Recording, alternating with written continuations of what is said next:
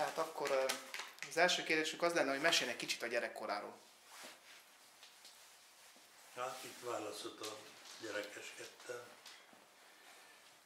Azon a helyen volt a házunk, ahol most a bár van, szembe a kastélyjal. És hát szomszédaink voltak románok, cigányok, úgyhogy megtanultam románul és cigányul is még gyermekkoromban.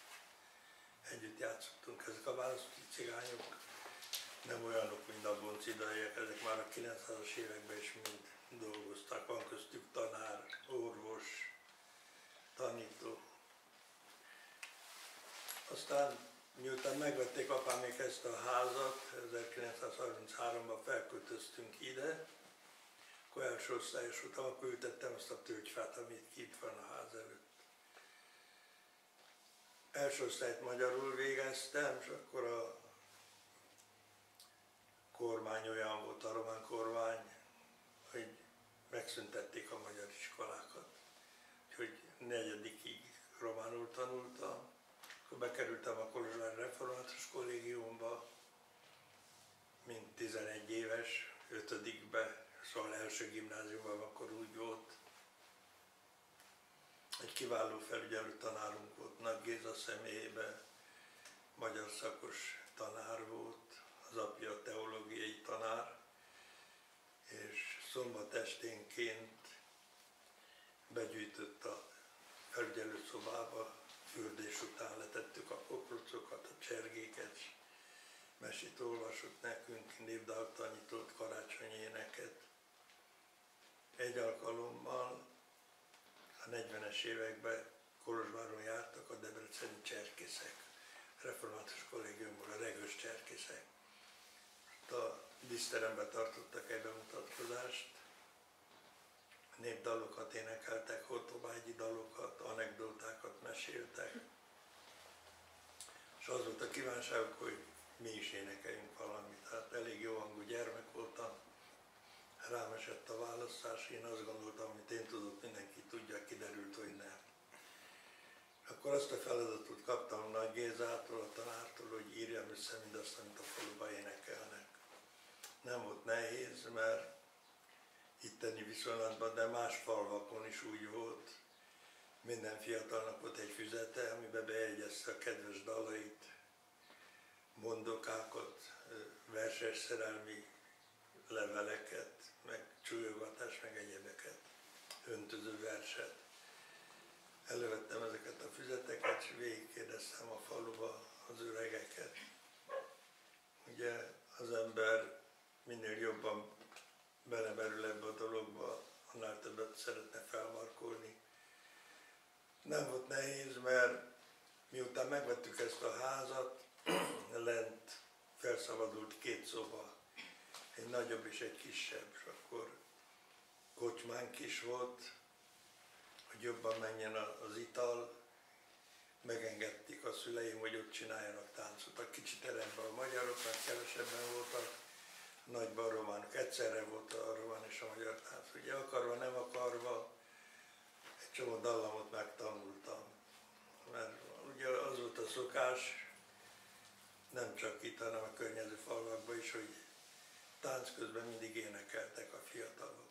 De vasárnaponként, ugye nem volt ilyen forgalom, mint most, most abban az időben egy autó vagy kettő elment naponta az úton.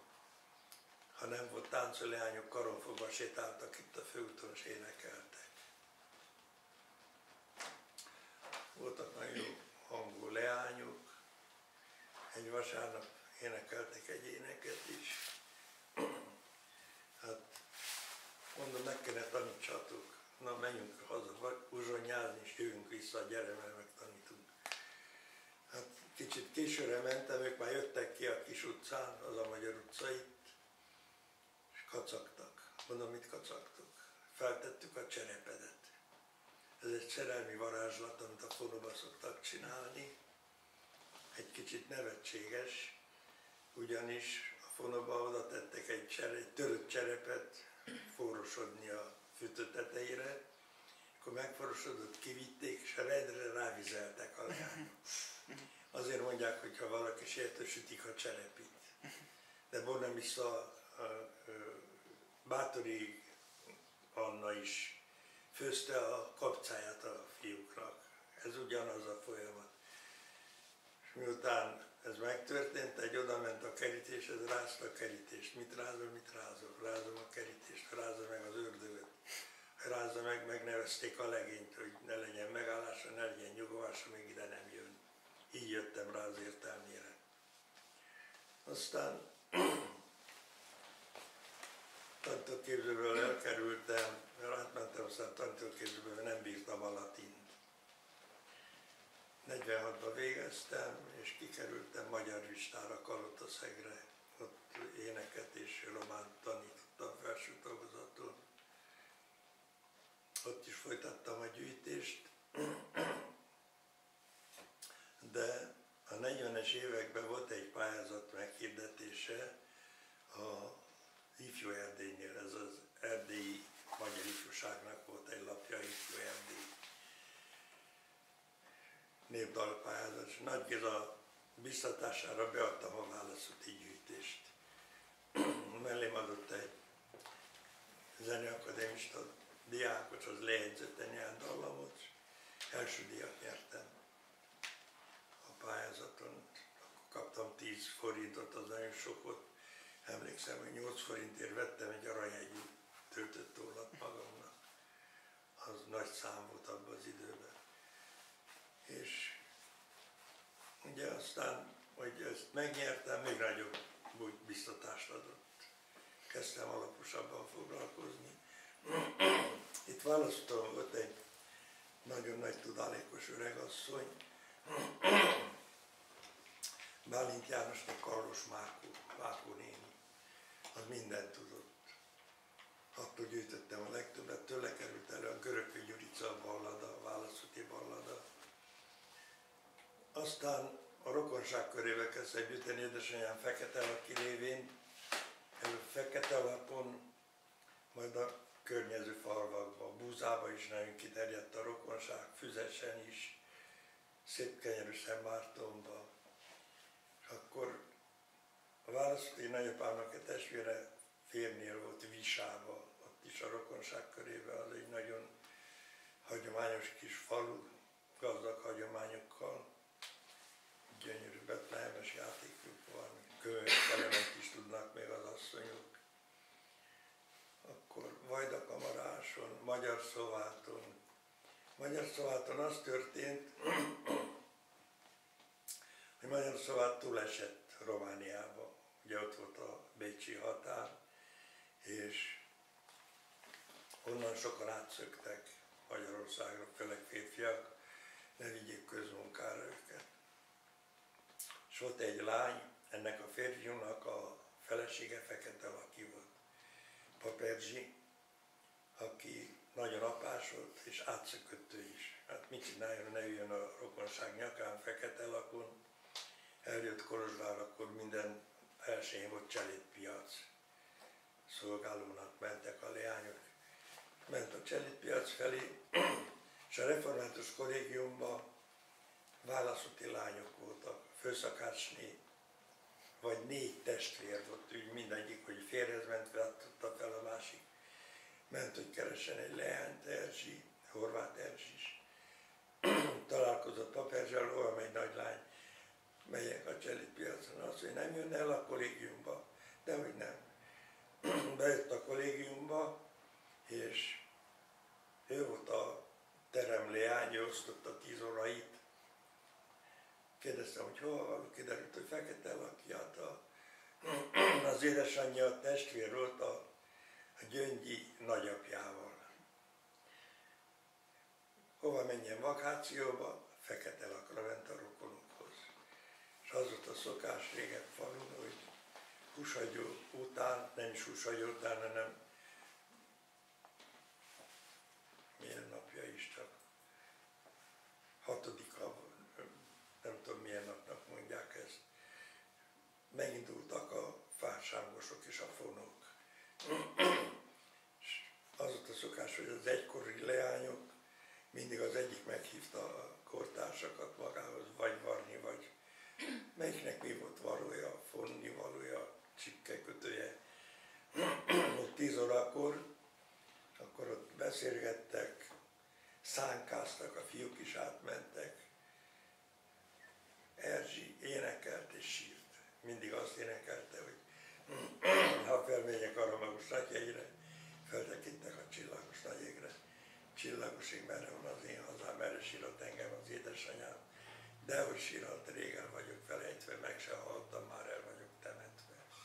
Egy nagyon szép régi dallamra. és megtanultam tőle. És akkor még egy másik éneket is megtanultam.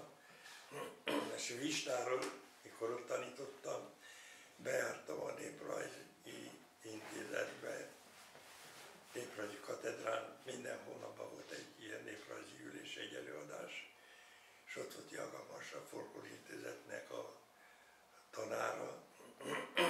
Kérdő, hogy honnan jöttem, mondom, ó, azt mondja, kiártunk Vistára gyűjteni, de olyan gyenge anyag került elő, nem találtak rá az adott közlőkre. Mondom, jöjjenek csak ki. Kijöttek, három árva szemnészebb dallamok előkerültek. Így aztán megismerkedtem Jagamassal, ő nem tudott románul, mert Bartok Kodály tanítvány akkor volt egy ilyen terve a Folkor Intézetnek, hogy Bartoknak a nyomdokain elmentünk Belényes környékére román zenét gyűjteni. De még azelőtt bementem a Néprajzi Intézetbe, és itt a múzeumban, Koskároly, az ifjú Koskároly volt ott, egy büntetőszerszámot, amit Nádas mentén úgy hívnak, hogy palága, egy ilyen kerekfa volt, hosszú nyele. Mákofalván találtam egy ismerősnél, és kérdem, mire használtak? Azt mondja, ezzel büntették a legényeket, a legénybíró. 1827-es év számolt rajta.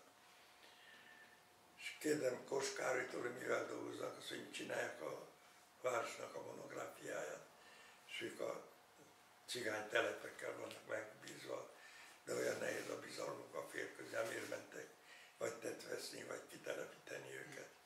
Hát azt mondja, nem tudok valakit, aki tud cigányolni. Tudok én.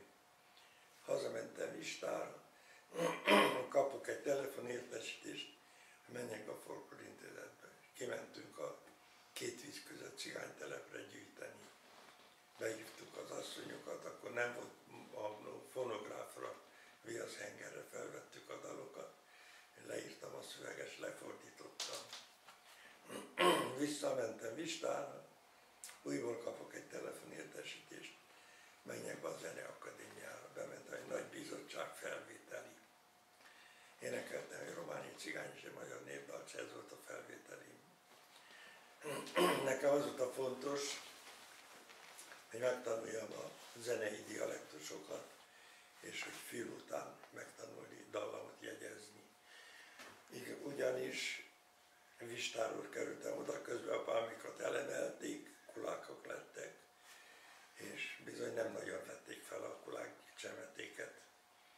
De Vistán volt egy országgyűlési képviselő, parasztasszony, Milas Ilona, aki prezidiumi tag is volt, ez közben járt.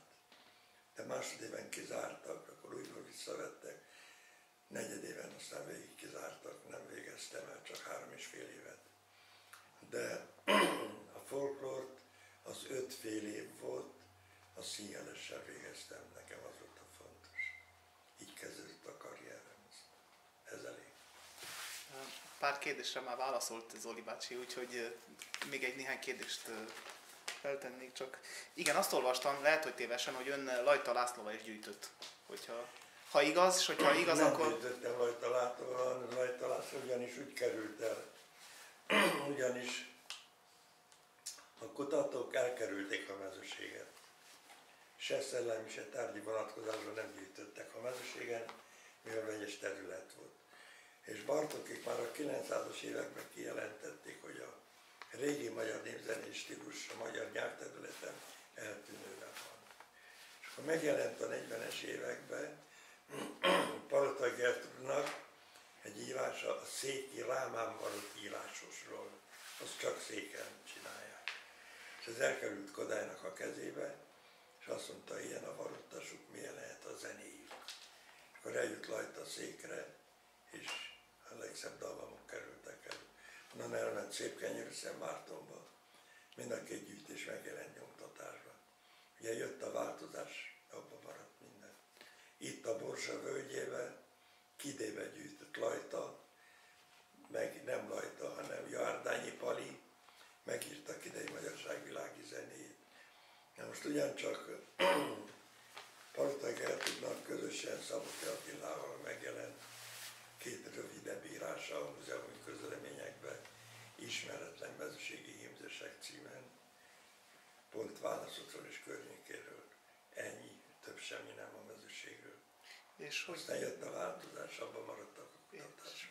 hogy fogadták önt az emberek ezeken a gyűjtőutakon? Hát ugye kellett tudni bánni az emberekkel. Ők nem tudták, hogy mi először kezdik a hallgatókkal, az operettékkel. Igen, igen. De aztán volt olyan értelmes adatköz, aki tudta már, hogy mit kell énekelni. Sokan már népvészeti mesteredíjat is kaptak ezek közül. Búzában ketten is, Csutkó Mari is, Samu Anna, Füzesen, Hideg Annuska, és nem tudom minek hívják a férfit, a, az egy férfi kapott táncból, Szerintem itt válaszúton, szép kenyérű Szentmártonból is kapott valaki valamilyen János bácsinak. igen, szintén táncból, itt válaszúton kapott Szabó Ferenc, Né Balázs Rózi,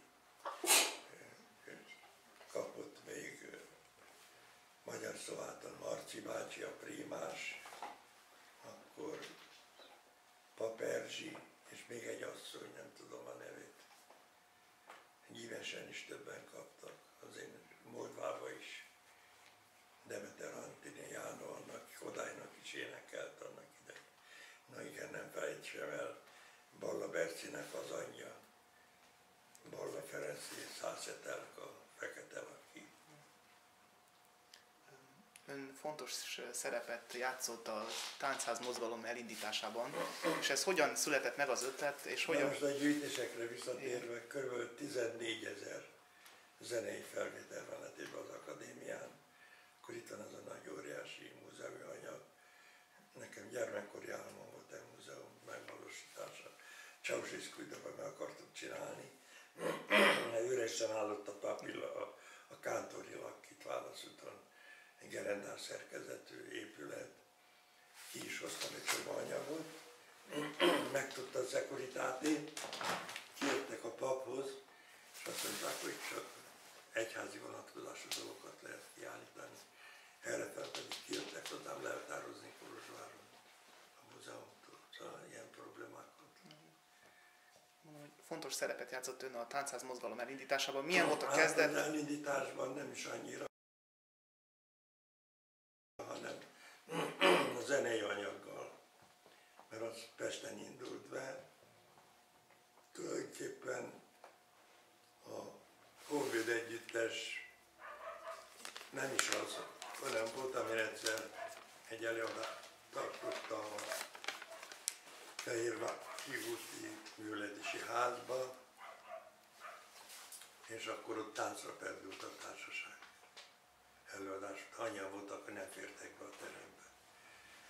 És akkor megfogant az a gondolat Novák Tatának a fejében, hogy jó volna csinálni táncházat.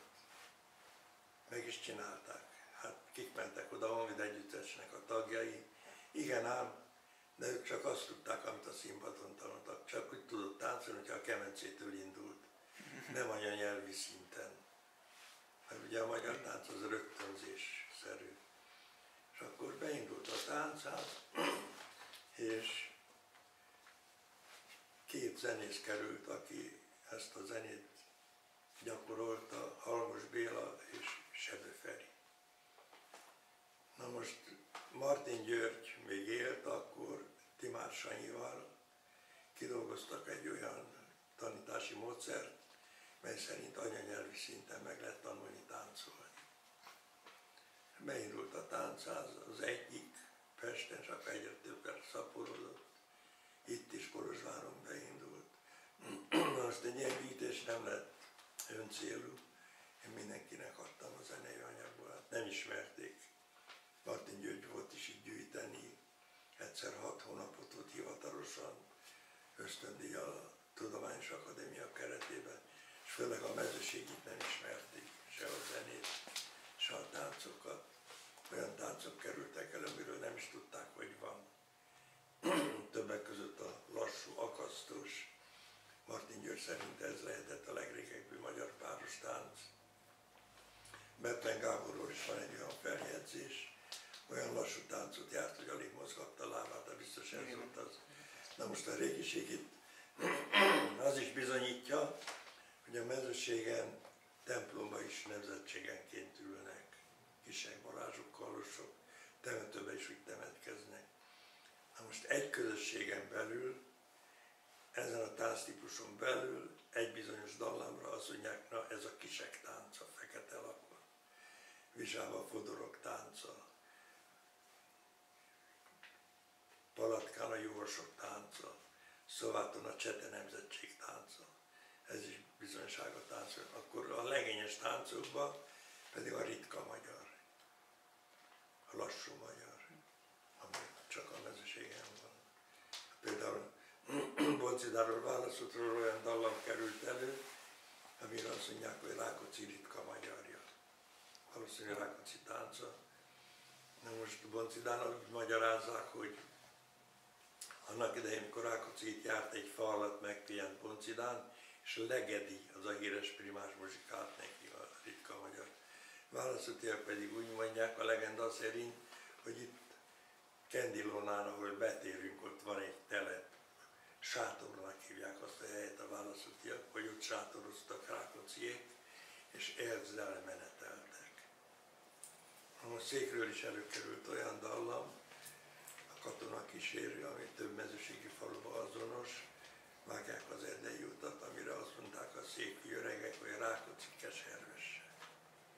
Valamikor közös lehetett ez a zenei kultúra, ugye mi magunkkal hoztunk keletről egy dallamvilágot, az úriosztály és a parasztosztály között nem volt különbség, aztán nyugati hatásra az úriosztálynak megváltozott a zenei ízlése. Betlemből például előkerült a bánfiak lassúja. Úgyhogy ugyanaz lehetett. És a hatóság hogyan nyilvánult a, ehhez a táncház mozgalomhoz? Nem hát akadályozták a, a felterjedést? A hatóság nem nézte jó szemmel,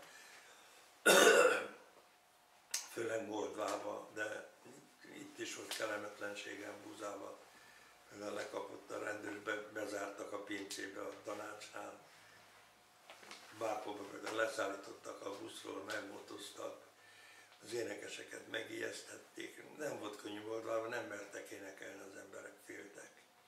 Ugyanis feldolgoztak egy körlevelet, minden faluba a templomozás után a műveledési házba, hogy ezeket a javakat nem szabad kiszolgáltatni, sem a táncot, sem a zenét, sem éneket, sem semmi, ezek nemzeti kincsek.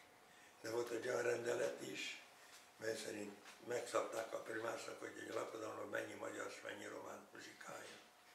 Ilyen problémák voltak. Ön mostanra már igazi kulturális ikonná alakult, főleg a magyarság körében, a magyar vidéken. Mégis ön ilyen egyszerű ember maradt, nem változtatta meg ezt a siker, önt ezt a siker. Hogy sikerült ez, vagy hogy lehetett megmaradni egyszerű embernek? Hát, mit mondjak erre, nem tudom, mit mondjak. Most jó, akkor még egy pár kérdés. Szeretném, hogyha mondom egy-két dologban, hogyha van valami emlék az 56-os forradalommal kapcsolatosan. Hát én az 56-os forradalomkor szerencsémre nem voltam itt, hanem Volvába tanítottam. Hogy csak a rádión érte. Ha itt lettem volna, biztos valami bajom lett volna nekem is belőle, de szerencsére nem voltam itt. Pályafutás alatt melyik volt a legkedvesebb emléke, és mi az, amit hát másképp csinálnak? A legnagyobb emlékem, vett ki azt a könyvet, azt a baloldali. Ezt? Az. Az ide. Hát ez azt mondható, hogy életem legszebb napjait az adott közlökák töltöttem. Ez új mellett a címe, és ettől az öreg asszonytól gyűjtöttem az